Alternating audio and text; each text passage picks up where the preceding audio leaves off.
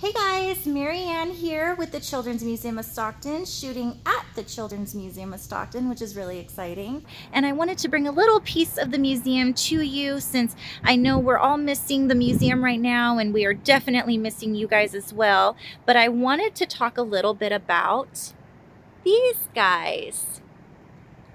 So, believe it or not, these guys were first created in the mid 1970s. So, they are about 45 years old and they were created by a company called Ad Art, which was based here in Stockton. And these guys were originally built for a toy store in San Jose. And there are three toy soldiers. We do have one yellow soldier that is guarding our backyard and they sat in front of this toy store in San Jose for a few years and then came back to Ad Art and stayed in front of Ad Art for several years. And a lot of folks can remember seeing these giant toy soldiers in front of Ad Art off of Highway 99. Well, in 2001, Ad Art so generously donated the three toy soldiers to the Children's Museum, and they have been standing guard ever since.